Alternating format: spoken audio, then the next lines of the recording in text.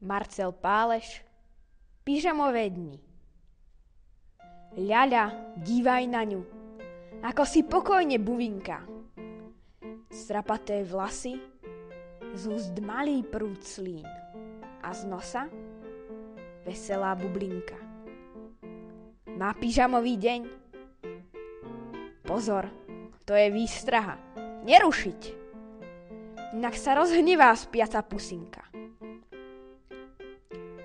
Pyžamový deň to je viac ako nedeľa. Lež mo stáť v bežiacom čase, bezstarostne, bez honu. Na saláme, bez cieľa.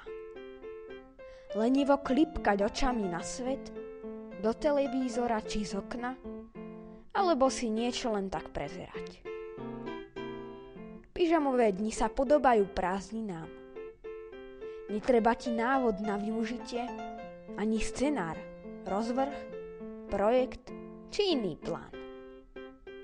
Jednoducho odpočívaš, podobne ako po smrti v raji. Akurát sa snažíš vyhnúť preležaninám. Pyžamové dni sú lákavé ako peniaze, ako sex či materiálne vlastníctvo. Zvyšujú chuť na ďalšiu dávku. Strácame pri nich činorodé panictvo.